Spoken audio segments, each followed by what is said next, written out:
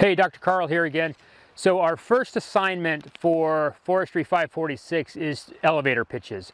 Now, we don't get stuck in elevators much anymore, right? But the idea is that you need a short one to two minute long uh, pitch, one to two minute long statement that you can make about something, your project or something that you're passionate about.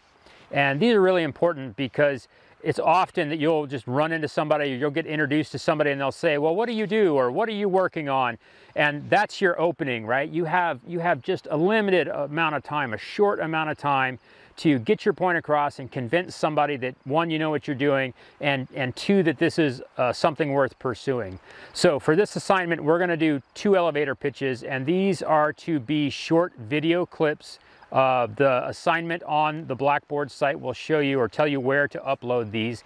And I'm not looking for something that's super polished. You may notice with my videos that they're kind of rough around the edges, right? Um, but the, the important thing is just to get used to being in front of the camera and take a couple of shots at it um, and, and just see what you can make. So two uh, short elevator pitches. The first one is just your self-introduction. And if you go back to the intro, intro video for the class, you'll see my short introduction, just something similar to that. Tell us what you're about and what you like to do. Um, the second one then is, is a topic that you are passionate about or that you're really interested in or something that you're working on.